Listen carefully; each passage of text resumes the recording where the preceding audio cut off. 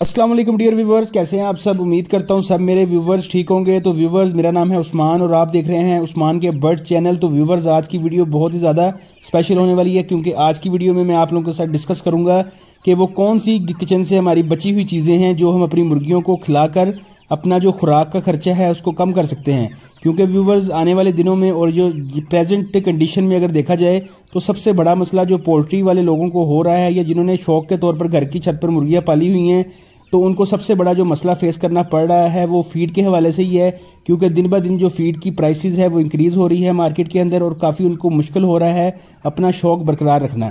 तो आज व्यूवर्स यही इस वीडियो का मेन टॉपिक है और इसी के बारे में डिस्कशन होगी इस वीडियो में कि वो कौन कौन सी सब्ज़ियाँ हैं, फल हैं जो हमारी किचन से बचते हैं और हम अपनी मुर्गियों को खिलाकर बहुत ज़्यादा फ़ायदा ले सकते हैं और सबसे ज़्यादा अपनी जो बजट है हमारा, उस पर बोझ कम कर सकते हैं।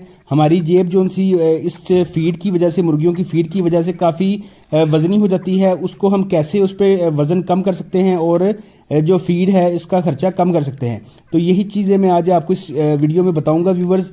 और जो मेरे चैनल पर न्यू व्यूवर्स आए हैं, उनसे रिक्वेस्ट है काइंडली चैनल को सब्सक्राइब कर लें और बेल आइकन को ज़रूर दबाइए, ताकि जो भी न्यू वीडियो है, उसका नोटिफिकेशन आप तक पहुँच सके।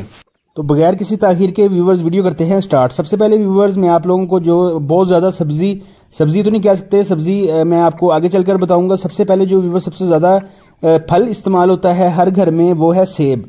तो व्यूवर सेब आप अपनी मुर्गियों को खिला सकते हैं। बचा हुआ सेब अक्सर जब हम इसको इस्तेमाल करते हैं तो सेब के जो छिलके होते हैं व्यूवर्स वो बच जाते हैं और हम उसको डस्टबिन में फेंक देते हैं। तो आप लोगों ने उसको डस्टबिन में नहीं फेंकना, बल्कि आप लोगों ने उसको मुर्गियों को खिला देना है। तो व्यूवर्स आप लोग आज का मौसम भी देख रहे हैं, माशाल्लाह।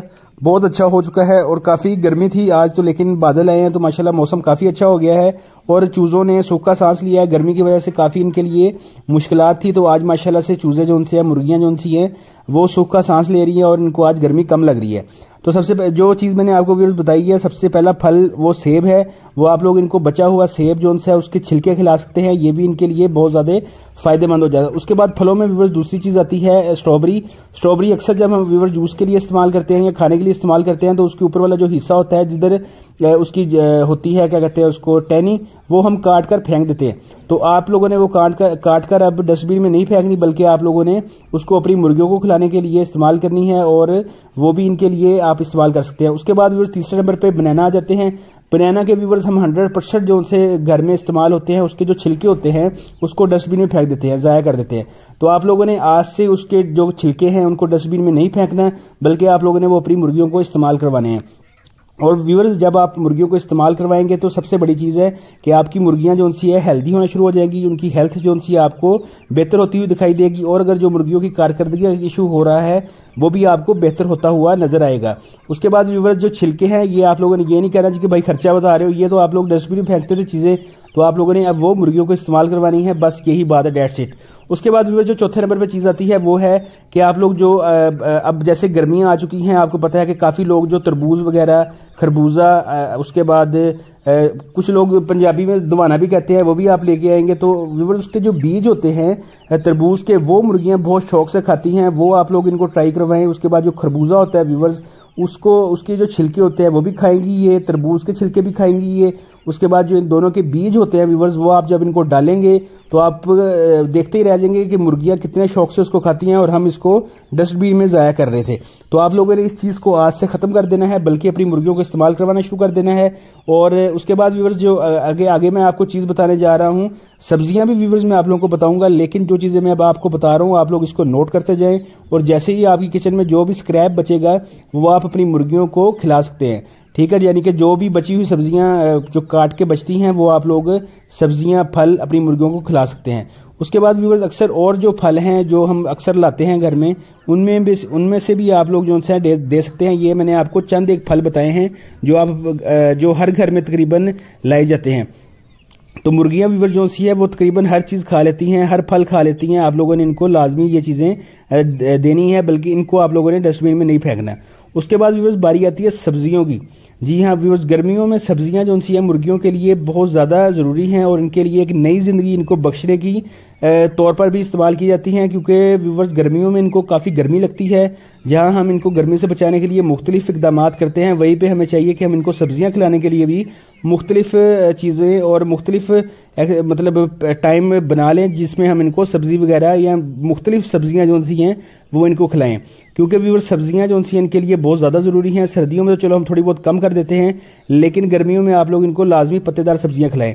तो सबसे पहले व्यूवर जो हमारी किचन में चीज़ आती है, वो है कि हम खीरा वगैरह हर घर में इस्तेमाल होता है। बहुत सारे लोग इस्तेमाल करते हैं इन सब्जियों को खीरे की सब्ज़ी को, और इसको आप लोग इस्तेमाल इस तरह करना है व्यूवर्स आप लोगों ने।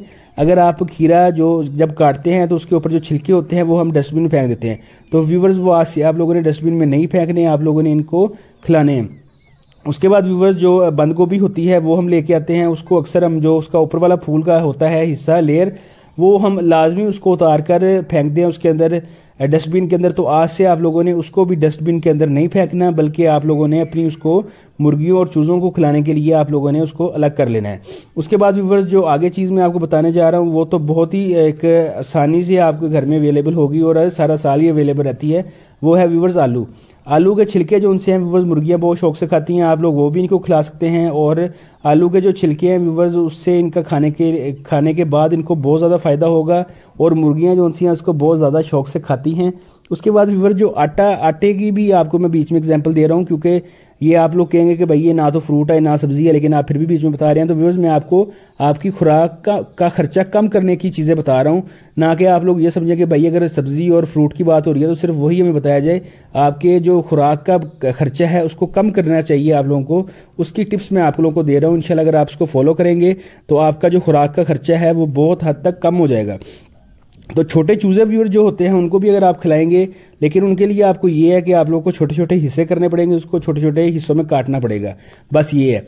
उसके बाद व्यूवर जो अगली सब्ज़ी मैं आपको बताने जा रहा हूँ, वो है जी, आप लोग व्यूवर टिंडे बहुत लोग लेके आते हैं जी। टिंडे घर में पकाने के लिए। कुछ लोग शौक से नहीं खाते, कुछ लोग शौक से खाते हैं इसको।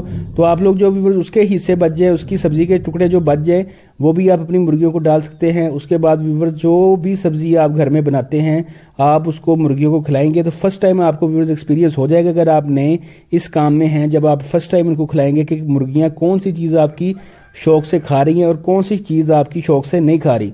तो आप लोग कोशिश करें कि इनकी जो हफ़्ते की डाइट है व्यूवर्स वो थोड़ा सा अपना कीमती वक्त निकाल कर वो सेट कर लें।